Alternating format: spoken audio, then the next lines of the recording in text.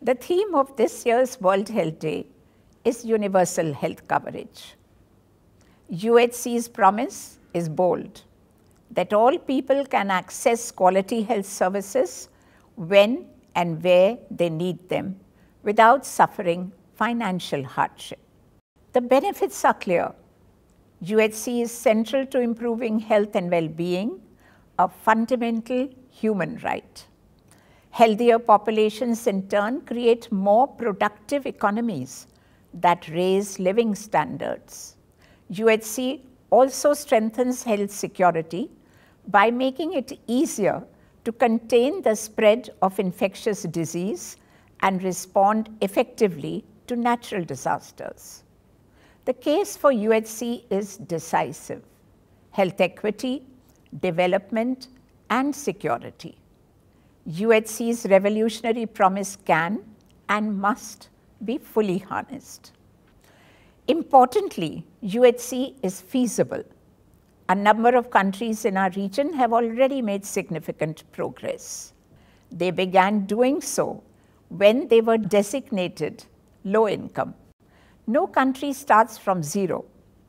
There are always opportunities to move ahead.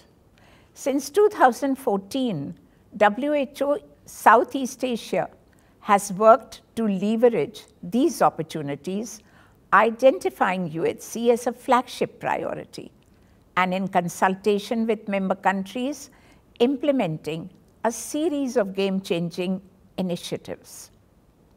Initiatives that can increase human resources for health, not only to enhance the skills of health workers and the quality of services available, but also to aid staff retention in rural and hard-to-reach areas. Initiatives that adapt frontline services to meet the needs of the region's aging populations, as well as the growing burden of non-communicable diseases such as diabetes and heart disease.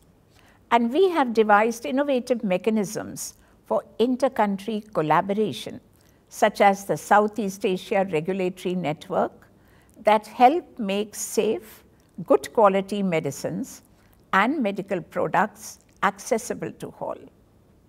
In each of these areas and more, progress has been made. Data shows that in recent years, health services coverage has improved in all of the region's 11 member countries. That is to be celebrated.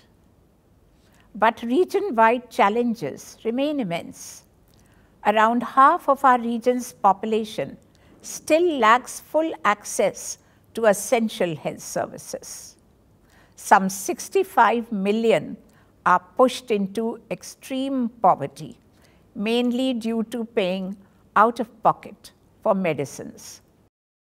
Our challenge is indeed formidable, but we must remember that progress is at all times possible, that UHC is a goal that we will realize progressively, sometimes with rapid groundbreaking strides, sometimes by a gradual though crucial reform. Today, on World Health Day, we must reflect on and resolve always to work towards achieving UHC's promise, a promise that is bold yet simple and will change the lives of millions of people across the region and beyond. Health coverage that is universal. Health coverage that is for all people everywhere and which leaves no one behind.